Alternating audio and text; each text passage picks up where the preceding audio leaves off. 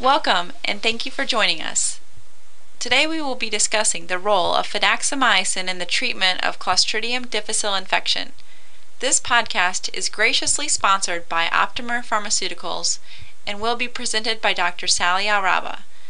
Dr. Alrabaa is an assistant professor of medicine with the Division of Infectious Disease and International Medicine at the University of South Florida Morsani College of Medicine. Thank you. Welcome and thank you for joining us.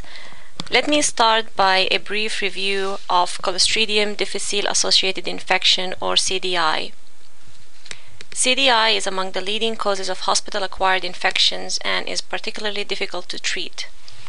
CDI mostly affects the gastrointestinal tract and is known for its tendency to recur and cause significant morbidity and mor- mortality in certain patient populations, especially the elderly, the immune compromised, such as those on immunosuppressive medications or with an immunocompromising disorder such as cancer, autoimmune disease, chronic renal insufficiency, or organ transplant recipients, and those with prior history of CDI.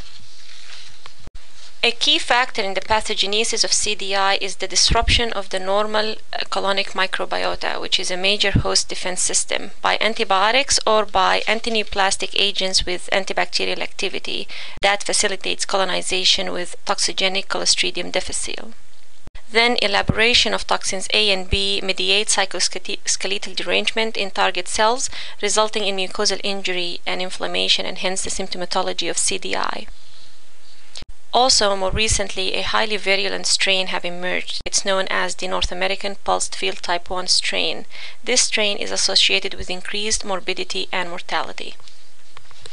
Regarding the diagnosis of CDI, one must maintain a high clinical suspicion, especially in patients uh, who develop diarrhea after receiving antibiotics within the previous two months or whose diarrhea begins 72 hours after hospitalization.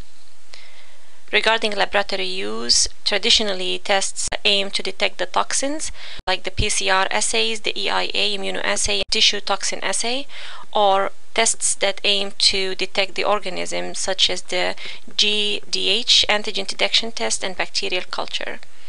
In general, toxin detecting tests are more sensitive, specific, and are more useful clinically than tests that aim to detect the organism. Perhaps the most important uh, step in the treatment of CDI is cessation of the offending antibiotic if possible. Traditionally, the first episode of CDI, if mild, is treated with oral metronidazole, although this drug was never approved for such use. In 1986, oral vancomycin was approved for use in CDI. Despite that, relapse rates for CDI remain high at about 20 to 25 percent.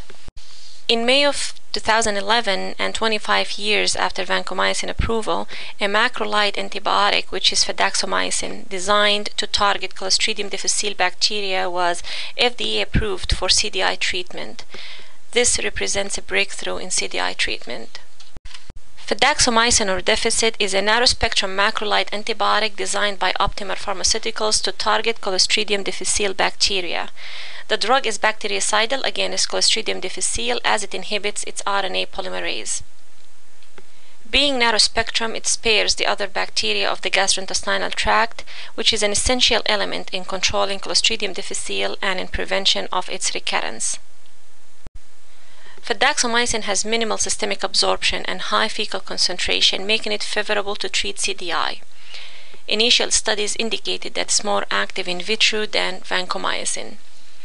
Subsequent clinical trials have shown that the rates of CDI clinical cure after treatment with fidaxomicin were non-inferior to those after treatment with vancomycin. Fidaxomicin, however, was associated with a significantly lower rate of recurrence of C. difficile infection associated with the non-North American pulsed field type 1 strains. This really represents a huge advantage of this drug compared to vancomycin. This graph illustrates the findings by Louie et al. in a study published in the New England Journal of Medicine in 2011 comparing fidaxomicin to vancomycin in CDI treatment.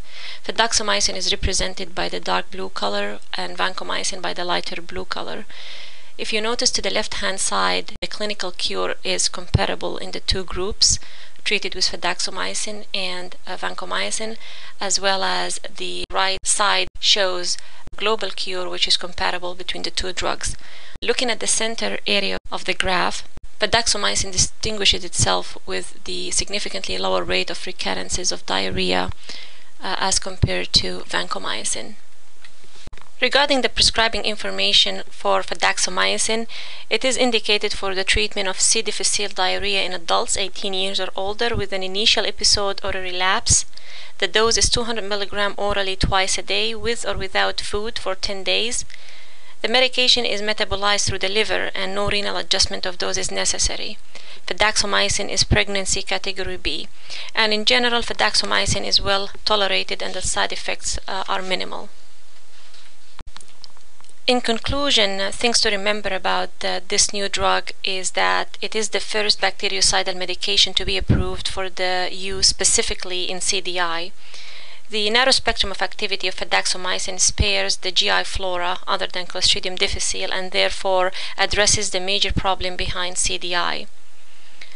Fidaxomicin is equally efficacious in comparison to vancomycin in the treatment of CDI, but distinguishes itself by significantly reducing the rate of recurrence, which is a major challenge for CDI treatment. Fidaxomicin should be considered first-line therapy in patients with CDI who are at high risk of recurrence, and it certainly is a preferred option in patients with recurrent CDI. For further information regarding fidaxomicin use, the listener may visit the website www.dificid.com. This concludes this podcast. Thank you.